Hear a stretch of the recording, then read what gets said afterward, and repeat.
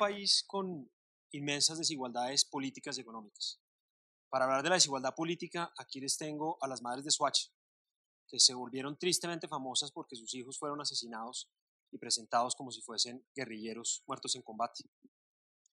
Esa práctica que le pusimos el nombre de falsos positivos y esconde el horror que realmente representa, cobró muchas víctimas en Colombia, no sabemos exactamente cuántas, pero según cuentas de organizaciones no gubernamentales como por ejemplo el CINEP, pudieron haber sido unos 1.500 jóvenes. Las asociaciones de víctimas hablan de casi 3.000 personas. Quiero que se imaginen que los 3.000 falsos positivos no hubiesen sido las personas eh, de escasos recursos, muchas veces en lugares alejados del país, sino que fueran toda una promoción entera de los 25 colegios que aparecen en esta diapositiva. Esta diapositiva tiene los 25 colegios que hacen parte de la Unión de Colegios Internacionales de Bogotá, la UCOLI. Y que se pregunten lo siguiente, si ese fuera el caso, ¿creen ustedes que el presidente eh, de turno hubiese conservado la, la, popularidad que tenía? ¿Creen ustedes incluso que hubiera podido seguir bajo en ejercicio?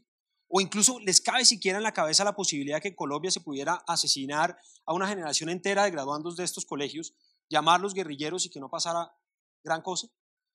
Yo sospecho que la respuesta a estas preguntas que ustedes que les estoy haciendo, muy incómodas, posiblemente es que no.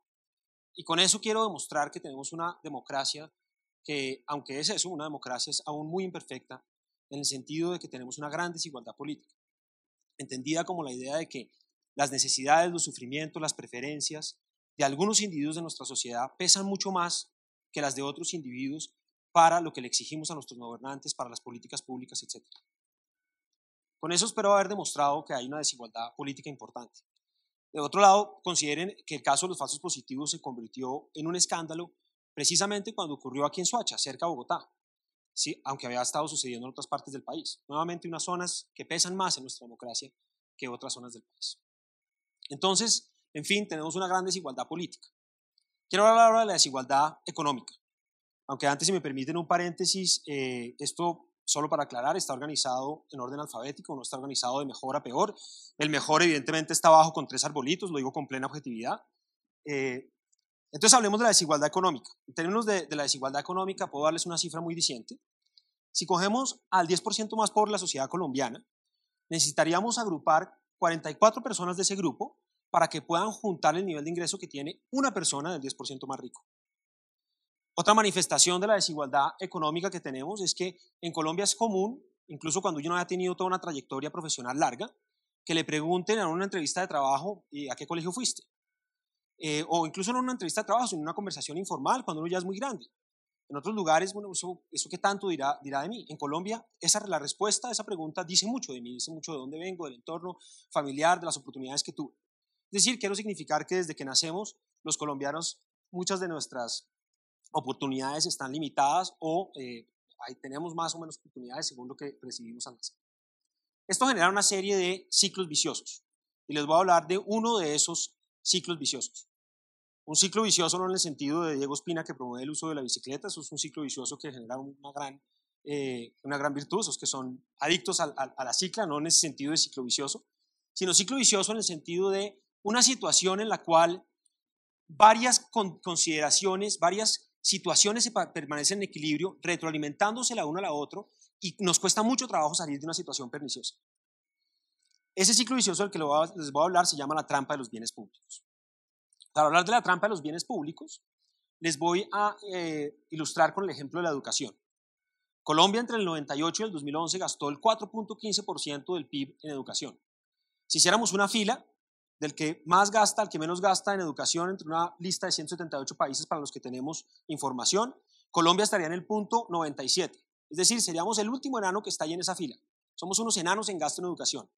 Y los colombianos que somos buenísimos para colarnos en la fila, en esta sí la hacemos ahí juiciositos, no nos estamos saltando, deberíamos saltarnos esa fila. ¿No? Ese escaso gasto en educación no solamente es insuficiente en cantidad, sino en calidad. Eh, es bien conocido que para el nivel de ingreso que tenemos, el desempeño de los jóvenes colombianos en términos de pruebas es mucho menor al esperado. Eso tiene como consecuencia que todas las personas que tienen los medios para hacerlo buscan suplir esta carencia de forma privada.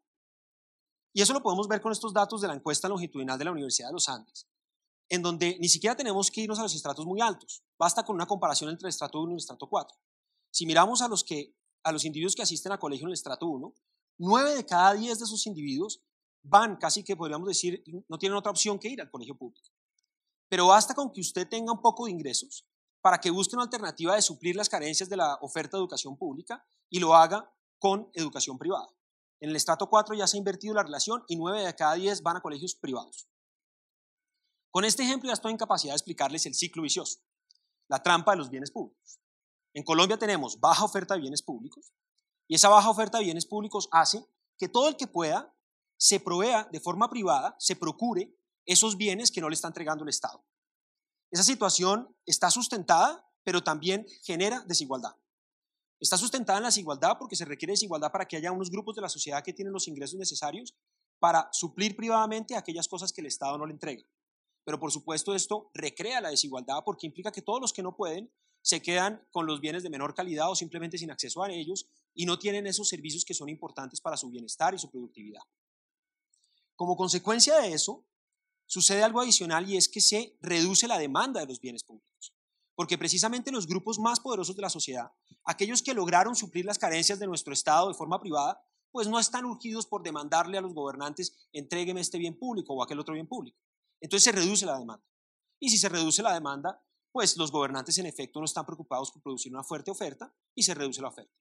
Y así en este ciclo vicioso una baja oferta de bienes públicos crea una baja demanda de bienes públicos y nos cuesta salir de este círculo en el cual el sustento, pero también un subproducto, es la desigualdad. Esto ocurre en varios ámbitos, no solamente en el de la educación. Uno muy famoso y muy claro de un bien público que nos hace falta y quisiéramos tener más y mejor es la seguridad. Y por eso un personaje típico en Colombia, tan típico que es uno de los personajes del humorista Jaime Garzón, de un edificio que no se llama otra cosa que el edificio Colombia, es el celador. Si tuviéramos más seguridad, no tendríamos que privadamente dedicar tantos recursos a protegernos y esta gente podría estar utilizando sus talentos en otras cosas, más productivas. Y eso que esta no es la forma más dañina para la sociedad de proveernos privadamente de eh, seguridad. La forma más dañina es muy conocida, son los paramilitares que junto con la guerrilla en el contexto del conflicto han sido responsables de grandes violaciones a los derechos humanos durante años y años en este país. Entonces, este es otro ejemplo y creo que lo que podríamos decir es que en Colombia existe una cultura paramilitar. Y cultura paramilitar me refiero no solamente al hecho de que ha habido grupos paramilitares, sino a la cultura general de que todos aquellos que podemos, lo que no nos entrega el gobierno, nos lo procuramos de forma privada. Esa cultura paramilitar y esa ausencia de bienes públicos, observamos un fuerte contraste a aquellos que hemos tenido la opción de vivir afuera por algún tiempo. Entonces, por ejemplo, mientras yo estuve haciendo mi doctorado, viví seis años en Boston, en Estados Unidos, y una de las cosas que además disfrutaba hacer era al final del día salir a correr al lado del río Charles. Entonces aquí estoy yo corriendo al lado del río Charles. Y quiero que piensen un segundo en la cantidad de bienes públicos que uno disfruta cuando hace una actividad como esta. Seguridad, estaba tranquilo de que no me iban a atracar, no importa la hora en que yo decidiera salir a correr. Aire limpio, respeto de los peatones y de los carros unos frente a otros, el espacio público en sí mismo, toda una serie de bienes públicos que uno puede gozar muy fácilmente en unas ciudades de países más desarrollados. En Colombia, en las ciudades colombianas es más difícil encontrar eso. No imposible, pero más difícil. Entonces, ¿qué hace la gente? Pues la cultura paramilitar dicta que usted se lo provee privadamente. Entonces la gente se afilia a un club o se mete a un gimnasio. En el caso mío, yo trabajo en la Universidad de los Andes y tengo la ventaja de que puedo ir al gimnasio de la universidad, me siento seguro y hago deporte. Pero aquí está uno de los aspectos de la tragedia de los bienes públicos, y es que no solamente quedan excluidas todas aquellas personas que no tienen el privilegio de acceder a un gimnasio fácilmente o a un club, etcétera, sino que nunca va a ser comparable el bienestar que da salir a correr en la ciudad, interactuar con toda su diversidad, estar en el espacio libre, que estar metido en un sitio de estos corriendo como un hámster. Es inevitablemente mejor el bien público. Claro, ustedes me podrían decir que estoy siendo demasiado pesimista, que Bogotá tampoco es semejante cosa tan terrible, que tenemos cosas y tenemos algunos bienes públicos muy valiosos. Estoy completamente de acuerdo. Por ejemplo, aquí está el mapa de Bogotá, una, una foto desde Google, de, de, Google, y tenemos el Parque Simón Bolívar, y en efecto es maravilloso salir a correr en el Parque Simón Bolívar. Yo lo hago, lo disfruto mucho, y aquí tengo la prueba, y está la selfie mía en el Simón Bolívar corriendo. Y si van, les recomiendo que después se coman una patilla o un pacto de mango, una delicia. Entonces, de acuerdo, tenemos, no es que no tengamos nada y no todo es color de hormiga. Pero hay unas limitaciones evidentes por la tragedia de los bienes públicos. Por ejemplo, el Parque Simón Bolívar está rodeado de una cerca, entonces no está integrado al resto de la ciudad. ¿Por qué? Seguramente por el tema de seguridad. Y no solamente está rodeado de una cerca, sino que si usted quiere llegar allá, todos esos bienes públicos que yo les decía que abundaban en Boston, eh, escasean acá, el aire puro, el respeto de los carros hacia los peatones, el espacio público para llegar allá. Qué maravilloso sería que tuviéramos más bien una cosa como que se quitaran todas las rejas alrededor, no solamente del Parque Simón Bolívar, sino de todas las cosas que tiene ahí el distrito que son maravillosas, para que esto se integre más a los barrios circundantes. O que fuéramos más ambiciosos y cerca está la Universidad Nacional, que debería ser un parque público maravilloso si le quitáramos también las rejas. O que fuéramos aún más ambiciosos y conectáramos eso con todos los parques que tiene el resto de la ciudad y que tuviera, estuviera conectado hacia el norte con el Parque del Virrey, hacia el oriente con el Parque Nacional, hacia el sur con el Parque Timiza, y que tuviera también todos unos tentáculos que penetraran todos los barrios que estuvieran ahí y que llegara hasta golpe un parque lineal con el que todos soñamos en los cerros orientales. En fin, hay algo, pero todavía podríamos tener cosas muchísimo mejores en esta tragedia de los bienes públicos. El problema con la tragedia de los bienes públicos no es, es, que no solamente impacta los bienes a los que tenemos acceso, sino la forma en que nos comportamos. En la cultura paramilitar, pues nos pensamos de esa forma, privada. Todo el, todo el resto de gente es potencialmente un peligro, una amenaza, un enemigo. Y entonces, como lo dice nuestro filósofo de cabecera en esta charla, que es Jaime Garzón, eh, el problema de los colombianos es que no tenemos esa conciencia colectiva. Y nos empezamos a comportar como si el resto del mundo no existiera, no consideramos al otro, o si lo consideramos, lo consideramos como una amenaza.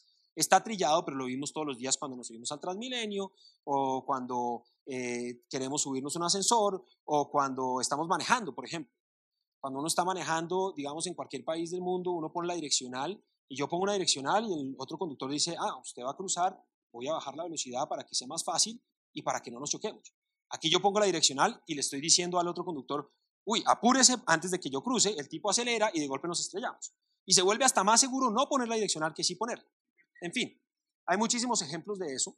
Y claro que yo estoy un poco preocupado de que los ejemplos que yo encuentro día a día es porque me estoy volviendo cada vez, digamos, más, eh, más, viejo y más quejetas con este tipo de cosas. Y entonces, por ejemplo, en el caso de los vecinos, las personas parecen no preocuparse por los vecinos. Y entonces he encontrado yo que con varios sitios que he vivido en Bogotá, los vecinos hacen mucho ruido y parecen no, no, no tienen ningún interés de que la consecuencia que eso tiene para los vecinos. Preocupado porque sea que simplemente yo me estoy volviendo más sensible y ya no puedo dormir fácilmente o algo así, hice una búsqueda más o menos científica en una página que se llama Google Fight, que compara la frecuencia de términos que aparecen en Internet de diferentes eh, combinaciones que uno quiera poner. Entonces aquí puse vidrios antirruido Colombia o vidrios antirruido y diferentes países de la región. Y pude reafirmar para, para, mi tranquilidad que no es solamente porque esté más viejo y más quejetas, sino que en efecto Colombia sobresale como el país en donde esta solución típicamente paramilitar de protegerme de los demás si puedo, surge como la que más atención tiene en la región. ¿Qué hacemos frente a esto? Si ustedes hubieran crecido, digamos, en el boom del rock en español de los ochentas, la respuesta es fácil. ¿sí? La respuesta la dan los prisioneros en una canción muy famosa que se llama ¿Por qué no se van? Entonces, si sueñas con Nueva York o con Europa, si la cultura es tan rica en Alemania y una cosa que aplica para mí, si tu apellido no es González ni Tapias, ¿por qué no te vas del país? Entonces sí, me podían decir a mí, ¿por qué no te vas si te estás quejando tanto? Es verdad, pero yo creo que aún si me voy, voy a seguir preocupado por la tragedia de los bienes públicos en Colombia. Entonces, ¿qué se podría hacer? La verdad es que al menos en teoría el círculo vicioso se podría convertir en un círculo virtuoso. Imagínense que pudiéramos tener un gran empujón por el lado de la oferta y que de repente nos empezaran a ofrecer una cantidad de bienes públicos. Entonces no tendríamos que proveerlos privadamente y más bien se generaría igualdad porque todas las personas, no importa sus ingresos, tendrían unos bienes básicos que les dan productividad y bienestar. Y entonces la demanda no sería baja, sino alta y exigiríamos de, los, de las autoridades bienes públicos. Teníamos un círculo virtuoso donde la alta oferta de bienes públicos genera alta demanda de bienes públicos y así sucesivamente. Y hay algunos ejemplos donde eso ha pasado, donde hay algunos gobernantes locales que de golpe han ofrecido bienes públicos y la gente se ha apropiado de ellos y los ha demandado. Hay otros ejemplos maravillosos como el que vimos hace un segundo de personas que se juntan para demandar bienes públicos, que se dicen respetemos el, el espacio público, respetemos y rescatemos la posibilidad de usar algunos bienes públicos, en fin. Pero por algún motivo como que no logramos dar el salto, esos son ejemplos, pero no persistimos y no pasamos del ciclo del círculo vicioso al círculo virtuoso.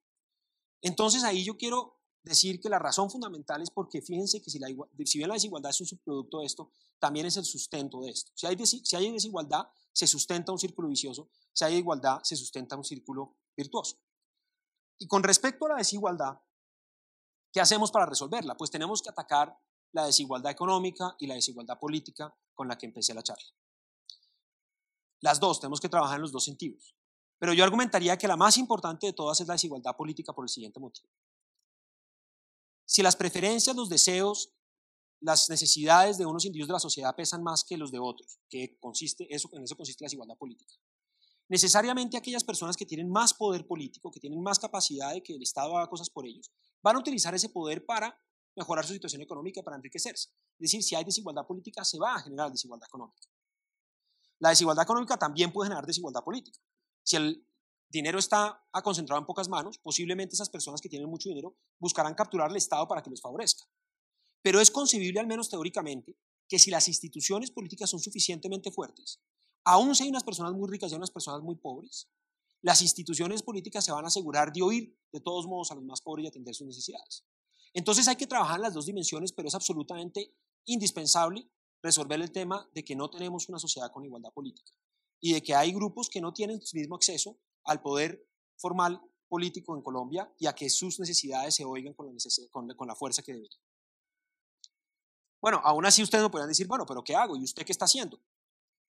Y yo podría darme palmaditas en la espalda, como le está dando aquí Bush a Putin, y decir, bueno, yo estoy haciendo algo, porque es que yo no les conté, pero soy profesor de la Universidad de los Andes, trabajo como economista, pero mi área de investigación es precisamente tratar de entender por qué unos países tienen instituciones políticas mejores que otras, qué características de las instituciones políticas son las más importantes de promover, cómo se promueven, de dónde vienen, y entonces puedo darme, darme un poco de aliento con Keynes y pensar que soy una, de esas personas que Keynes describe acá. Los hombres prácticos, como los políticos, que se creen inmunes de cualquier influencia intelectual, en realidad son esclavos de un economista difunto. Entonces yo me podría dar esa palmadita en la espalda y decir, bueno, yo finalmente influiré en las políticas públicas. Pues yo no me quiero dar esa palmadita en la espalda por dos razones. Primero, porque si se fijan bien en la, en la frase de Keynes, él dice que se trata de un economista difunto. ¿no? Y yo no quiero estar muerto para cuando haya cambiado eh, la sociedad colombiana y ojalá pasemos a una situación de más igualdad y de eh, un círculo virtuoso y de, de, no tener una tragedia de los bienes públicos, sino pasar a tener una comedia de los bienes públicos. Por eso pensé que una primera cosa que podía hacer era compartir con ustedes estas ideas para que no desaprovechemos cualquier oportunidad que tengamos de hacer de la sociedad colombiana una sociedad donde tengamos más igualdad política y económica y especialmente más igualdad política. Y gracias.